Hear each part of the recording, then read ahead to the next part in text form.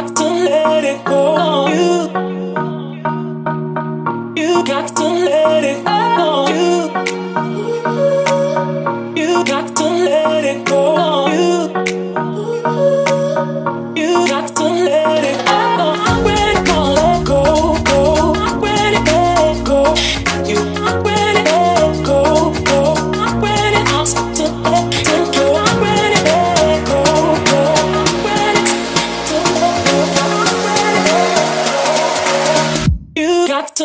you